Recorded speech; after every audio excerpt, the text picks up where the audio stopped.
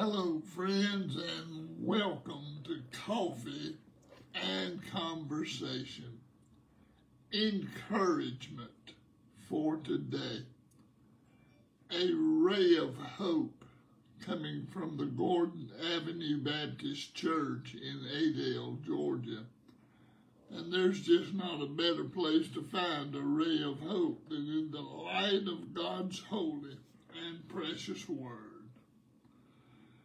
Today, friend, we'll be in the book of Second Corinthians, chapter number 4, and we'll look at verse number 7 as a text verse. Notice what the Bible says here. But we have this treasure in earthen vessels that the excellency of the power may be of God and not of us. And friends, I pray that God would certainly add his special blessings to the reading of his holy word today. Get that good fresh cup of hot coffee. Let's sit together and have a wonderful encounter with God and His precious Word on this beautiful day.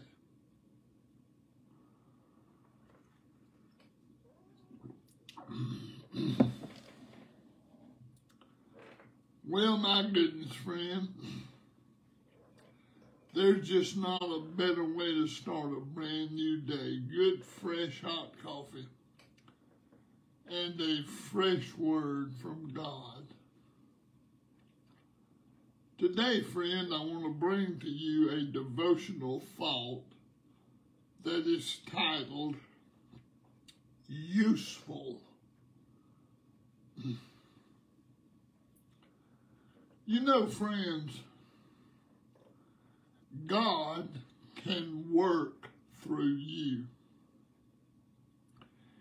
it is not only those extraordinary gifts or talents that the Lord chooses to be his representatives.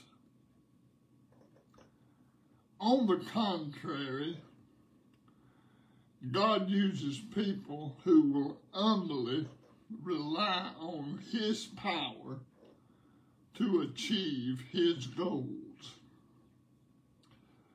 the more dependent you are on God, the more His glory can shine through you.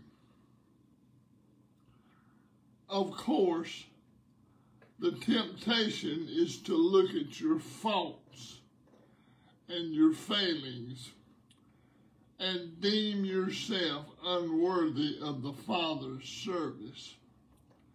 Friend, if you believe that, he cannot use you because of your past or your lack of resources or education or even your appearance, then you need to realize that you are focusing on the wrong thing. Friend, the Bible is very clear. Your adequacy comes from God the Lord can work through you to accomplish his wonderful purposes. And all he requires is for you to trade your weakness for his strength and to obey him. So, friend, place your faith in the Lord Jesus Christ and rejoice at all he does in and through you. You are useful. Remember that.